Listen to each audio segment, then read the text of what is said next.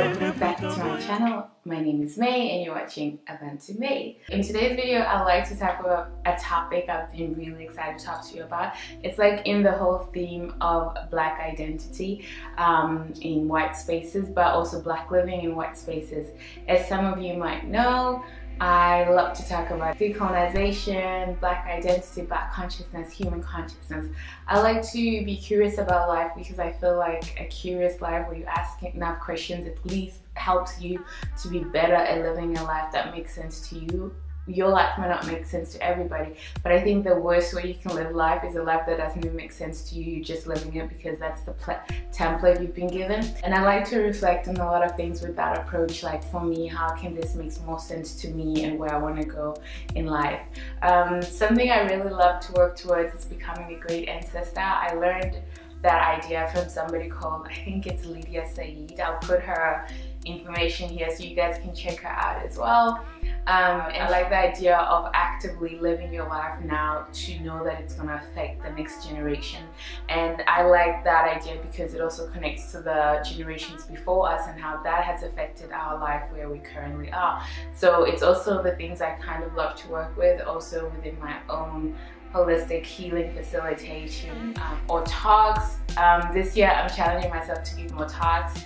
I am actually giving more talks like I've given some already. These are the things I'm going to talk more about also uh, when I do start speaking more um, and the speaking arrangements I speaking opportunities I am putting in plan and some I've been invited to as well because I know it matters. I think having a holistic perspective of healing and trauma and oppression are very important. Like when you go um, to understand yourself, it doesn't just stop with you. It starts with your mother and father, it starts with your grandparents, it starts with the context of existence you live in. I never think that people are just a bubble by themselves, but we are connected to, in a circular kind of spiral way, to the past and the present and the future.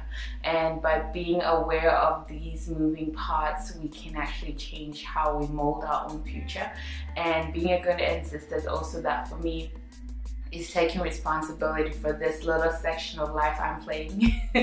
um, but yeah, so when it comes to black loving in white countries, as you guys know, I live in a little country in Scandinavia called Denmark. I was raised here. I've lived here most of my life, more than I've lived anywhere else in the world.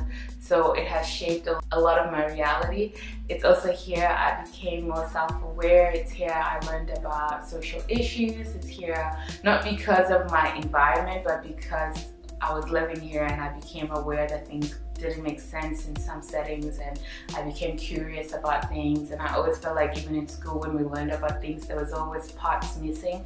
And I know those parts were missing because obviously this is a dominantly white society which has a dominantly white perspective. Yeah, so living here and growing up here where like I said I'd go to class, I'd go to schools and I'd often be the only black person and this of course affects how you also relate to your love life. I would say like I talked about in my black love series the black love for me is not something that's only romantic.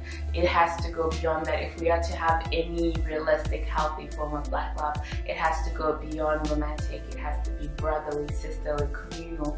It has to be um, um, what you national. It has to be something that grounds us bigger than just romantic love. Even though that is an important component of black love, it's not the only component of black love and we need bigger, stronger systems of black love in order to sustain good romantic black love.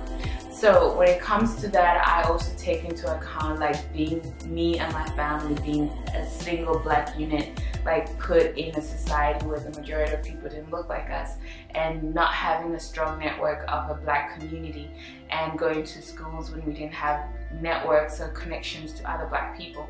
I remember also I shared this like me and my friends would talk about it um, about how even like walking past a black person on the street felt so awkward or in any setting it's because you were aware of each other but it wasn't this comfortable awareness of hey brother I see you or hey sister I see you especially the people who were raised here it's different with people who had just recently come to Denmark. I always feel like they were always more open. They were always more welcoming but I feel like if people had grown up here long enough they kind of there was a sort of like oh you're black i'm black let's not pretend to see each other which was weird and i always was fascinated by that. I remember when we were in amsterdam with Diana and we went to this um we were at this place that sells black dolls in Amsterdam. I'll put maybe a little Instagram there so you guys can check it out because what they're doing there is amazing. And the guy told me that that was the same thing there, that the black community was very estranged to each other and success was almost measured to how much Uh, how much you could over integrate into white societies. And of course, all of this comes back to romantic black love or communal black love. That when we are isolated in white communities, because maybe we think there are no options. Of course, there are places where you are isolated because your people are simply not there. But in the digital age, I also think that that's something that I found refuge in. That even though around me I didn't have a lot of people who looked like me or a lot of people who understood my experiences, when the internet started blooming, especially social media, especially like being able to watch people's videos online. That's why I love doing this because even though there's so many voices now, it doesn't mean that everybody will have a similar perspective or approach to life as you. And it's great that when you share that, you have people who can connect with your experience.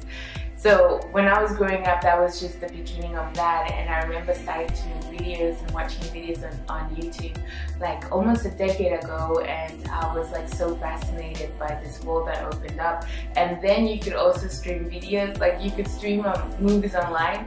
Um, back then I didn't even know it was illegal. Like I was just like, oh, like I, this is a movie by people. Like even that idea, some people take it for granted today. But I didn't grow up in a world where that was the norm. I think the only black movies we would see was, you know, like my mom sometimes she would have like um, CDs of Nigerian movies and she'd bring them back from Uganda. And that would be movies like a full cast of black people. To see like other cinema, like um, when I saw The Color Purple, when I saw um, what were all these movies like Friday, when I saw all these movies where the narrative was about black lives and it was focused on when I when I found the series like Living Single that was so amazing for me. Like all these things matter because they gave me a different perspective of black love. And for me black love starts with yourself. Like how can you not how can you love anybody black if you don't even love your own blackness if you don't even accept your own blackness if you're not also aware of your own anti-blackness and healing that so being able to see a reflection of me of blackness and a reflection that that I loved, reading black books, and these things weren't offered to me by the dominant society. It was something, things I had to you know, find and I when the internet opened up, like that was something like I went crazy and I was finding all this stuff. I was reading books, I was watching talks of like um, Henrik John Clarke, I was watching talks from people like Maya Angelou. I was like, oh my god, like because before that on national TV, what we had was Oprah. I think that was this black of everyday interaction on TV we would get was Oprah, and then there'll also be some Danish show where there was this black mixed woman and there was a black news anchor on a TV news channel and that was it. Like that those were like my black interaction from the Danish society. So seeing other black people embracing being black on a new level, like I was born black, but like to embrace being black is like almost like when people get baptized, like not baptized, confirmation. I don't know if you guys do it. I think it's part of the Catholic Church. I don't know. Like when you're older, like when you're young, you get baptized. I'm not religious, but I just like want to use this analogy. When you're young, you're baptized into the faith, but then when you're like 15, 14, you have to confirm your faith. I feel like my black awakening was the reconfirming of my blackness in the sense of like a positive approach to being black and awareness that hey I am black and taking that on in a sense of I am different and that's great and that's okay and that people like me who are different and they're doing great things and if they can do that I can do that too so black love for me then evolved from there because once you can establish that then when I started thinking about my own dating life and for me I think I talked about it a bit in mixed people being included in black love where I think I shared a little bit about obviously growing up in a predominantly white society where the majority of people are white men and those are you're watching all these movies with white characters and everything is laced with white is better and even maybe not white better what is the only so what is the only way that you can imagine with romance with music with everything? You kind of start thinking because i do believe that of the power of of obviously obviously visualization and representation that sense. If you see that from a young age and that you're watching Titanic, The Notebook, all that stuff, there's no way you can grow up and then say, oh, but yeah, I'm gonna just choose a black man randomly. And not only, okay, let's say you do have that awareness and you're like, oh, but I still want to love somebody who's like me. Um, where are you gonna find them? because the majority of people around you don't look like you. And of course now there's internet dating and I used to live in a smaller town village when I was growing up and now I live in a bigger city like Copenhagen where there's more black people and also we're just flights away from other cities so you meet more black people and now I feel like the awareness in the black community is growing and it's growing positively. There is events, there is arrangements, there is um, collaborations that is just, it's a beautiful time to be black in Denmark and I am enjoying it. I'm enjoying all the people I'm meeting.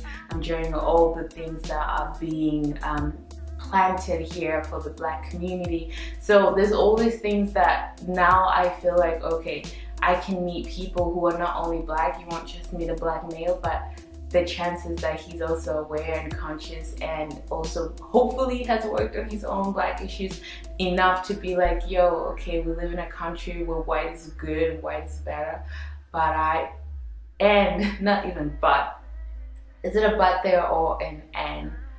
And I would like to choose you as my partner. And of course, some people say, but love is love, like don't worry about color. And I think that people enjoy saying that a lot to minorities, which is funny because most people, it's a norm, not to minorities, but it's something that um, I feel like most people and races, it's almost a norm that they choose each other but black people especially in white spaces have to fight to choose each other because everything is working against that love. Like the society is working against that love by showing that love in somebody else is better. And if you see a black person, a white person, they're usually a black person on screen, they're usually going to be in an interracial relationship. Again, the idea that two black people, maybe even in a white society, let's say there was a movie with, with a black couple and there were white people around them, like that movie isn't worthy of seeing that story, isn't worthy of being told. So obviously the idea then is two black people together makes the love irrelevant and it's only relevant if there is a white person intersected into that. Going through all these things and being aware of that and broadening my horizon, like traveling more, working on my own, like I said, into blackness, and also the way I felt about black men because also growing up, obviously I don't blame my my fellow young black men growing up here because the men have a different experience than the women. I think we are both equally fetishized on in different ways. Um, but then there's this idea, of course, that black men are so cool and they're so, you know, it's like the whole Kardashian mental thing about that I would say the society has here about black guys, right? So they want a black man, they want to be with a black, man. they might even not like black people, black women, but they want to be with a black man because they also want to produce black babies. And there's this whole fetishization of blackness in that sense. And the same with the women, which often also you see them in um, portrayed in ways that are degrading or over sexualized hypersexualized in the sense of like even the idea that we have a street here in Copenhagen where there's a lot of um, African women that are prostitutes, that work as prostitutes here. Of course, there's the whole question about if they're trafficked, if it's um, um, what you call trafficked sex labor, sex la labor. Yes, in Denmark that happens too. So there's all these cases around that as well. And for other men to see you and because they can pay for other black women to have sex with them or black women that come here for cards or to get like to secure their life which that's a whole other story how people come here to secure their life and to find peace somewhere else. And I always find that interesting how in Western countries they're so against people wanting to immigrate for better lives. At the same time they're so quick to destabilize countries that these people come from or fund ways that destabilize the countries that they come from. So it's kind of like what do you want? You want to both destroy the place we come from and make sure we just stay there. Anyway that's another story. Um, but obviously, ideally, I would like our countries to be secure and, and healthy enough for us, for us to travel just for year and not to travel because we can't find peace in our own homes. Like nobody wants to live their own home freely. I think most of the people who do that are because they need help. They need to be feel secure somewhere else. Anyway, all that to say my journey through it's been everywhere but i'm like i'm trying like to just share my experience here and i hope you guys can relate to that. That obviously then living through that and finally um, i dated my first proper black grown up and that was a great experience. That was before i met Dinah who is mixed with afro-brazilian and arabic heritage. Um, so my experience with black love and also like living there that taught me another way of black love through community and the way people help each other the way people support each other the way also traumas passed you know like along each other. Like there's all these things that you see when you realize okay the context that we as black people live in and the context in which black love can grow in grow from or even be what do you call or the all love can be stunned in. So I think when it comes to where I am now, I feel like black love for me, like I say, because I am in a community now and I'm a part of more things that are black and Afro-centered and just finding a sense of home has created, like I say, like just being happy with knowing who you are, loving who you are makes you work, walk in this world a different way. I think when you spend so much time trying to fit in and trying to not look so different, trying to be just another um, white, friendly black person, um, it creates a sort of like, um, what do you call it? It's a sense of living in repression, but not only repression, but you're constantly living in denial of who you are. And even though that might be subconscious, and to accept and understand yourself and understand the context you live in, and to have love for that blackness and that black experience, wherever that might be, you move in the world differently. You move in your white circles differently. You move in um, black circles differently. You accept and reject things differently because you are more grounded. And I felt like maybe before all of that, before that black love for me, I wasn't as grounded and that creates a lot of issues mentally, spiritually, and that we don't always think about, that we don't always um, talk about. And I think we don't talk about them because, like I said, a lot of trauma, traumatic ways that we live in are very normalized, they're almost culturalized. It's a way of saying, oh, that's the way the world is, but it's not healthy for us. It's not healthy for our progression, for our empowerment, for our sovereignty. And I think for us to be aware of all those things uh, is the first step to us living here and loving each other, loving ourselves, and building communities with bases on love, bases um, of respect and honor and appreciation and pride. And I'm just happy that my journey has led me to here, and I'm just excited about all the things blooming, uh, black and blooming in my settings and around the world. I really do believe that we are living in. Um, in a second wave of black renaissance um, on a global scale because of the digital media because of digital media. I think that there is an awakening of the black identity and the re-identification of the black identity and the reclaiming of the black identity on another level that is more diversified it's more accepting it's more empowering and it's more loud and present and i am all here for it. So that's all I wanted to share with you guys. I really enjoyed making these videos and I hope that you guys get some connection from them and you learn something from them. And as always, I love to hear feedback as well and your experiences, your reflections. And otherwise, as I always say, be kind but obviously don't take your shit. and I'll see you in my next video.